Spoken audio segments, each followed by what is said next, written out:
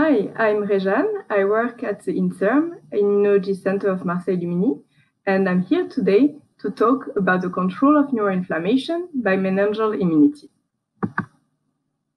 Over 20% of the population suffer from some kind of brain pathology, and even though this is growing, the treatments are very limited and do not penetrate the brain efficiently enough to make a difference. In fact, the meninges are understudied and mostly unknown. And we found we needed to find new ways to control neuroinflammation. That is why we started the study of the control of neuroinflammation by meningeal immunity.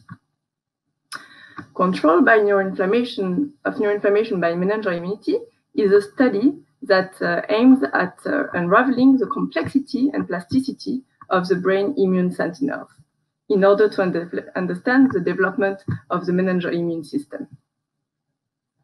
Manipulating those immune sentinels will help prevent autoimmunity, to prevent neuroinfection, prevent neuroaging, and also to boost brain development. In order to uh, pursue these objectives, we used different tools. First, uh, transcranial drug delivery, which allows to deplete meningeal macrophages. Second, transgenic mouse models that allow to deplete and also manipulate meningeal immune subpopulation. Third, we use in vivo CRISPR-Cas9 gene editing. And lastly, we use uh, spectral cytometry and intravital imaging, as you can see here in these pictures.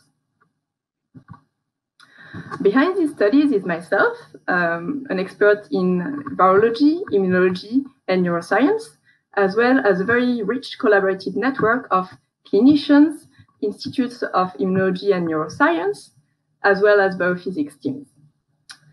Our studies uh, so far have shown in animal models that meningeal immune sentinels can control brain inflammation in two different models. First, in autoimmunity, we found that NKP46 cells in the meninges, here in green, can form pathogenic cluster that then infiltrate and destroy the brain parenchyma.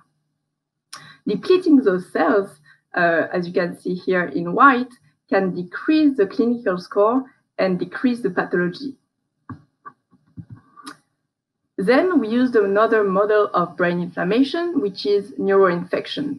In this model, we found that meningeal macrophages can respond to CNS infection and are crucial in blocking neuroinvasion.